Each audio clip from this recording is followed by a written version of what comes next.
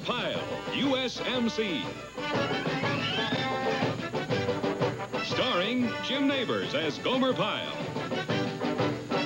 Also starring Frank Sutton as Sergeant Carter.